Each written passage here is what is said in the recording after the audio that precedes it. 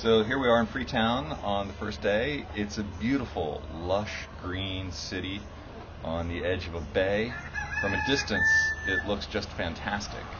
Uh, but then when you get down to it, aside from the downtown area with its grand government buildings and that sort of thing, there's really a stunning lack of development here. There's just a lot less of everything. Fewer public spaces, fewer large buildings, fewer services.